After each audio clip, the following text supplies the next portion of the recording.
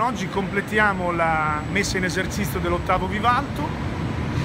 finalmente otto treni, li abbiamo, li abbiamo messi in servizio grazie a un contributo della Regione Emilia-Romagna in ottica di miglioramento e di rinnovamento del parco che poi come sappiamo si concluderà nel corso del 2019 con l'emissione in esercizio del nuovo materiale rotabile.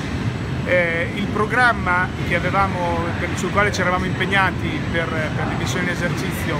si è completato e si completa con largo anticipo, eh, si sarebbe dovuto completare entro la fine di maggio, siamo alla fine di marzo e, e quindi in, in anticipo di due mesi, si concretizza l'impegno che avevamo assunto sia con la Regione sia con i nostri pendolari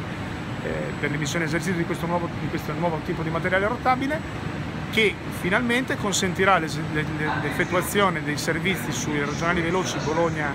Piacenza, Bologna, Rimini e Ancona completamente col materiale di nuova generazione. Nel corso del 2017 avremo anche altre novità, saremo, verranno immesse su alcune linee che afferiscono a Bologna altri materiali rotabili di nuovo tipo in sostituzione di automotrici leggere elettriche di vecchia generazione, anche questi grazie alla accomodato che la Regione ci consentirà su, su degli ETR 350 e quindi un altro passo in avanti verso il miglioramento, verso il miglioramento del servizio che ricordiamo nel corso del 2017 sta confermando anche in termini di risultati l'impegno che abbiamo già avviato nel corso del 2015 e del 2016 sia in termini di puntualità sia in termini di affidabilità, minore cancellazione e, minore, e migliore, insomma, migliore performance erogata verso i nostri clienti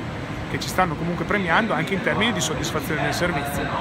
Dai dati di customer che vediamo periodicamente infatti abbiamo già nei primi mesi del 2017 un buon risultato, oltre l'80% dei nostri clienti si dichiara soddisfatto del viaggio nel, nel, loro, nel suo complesso.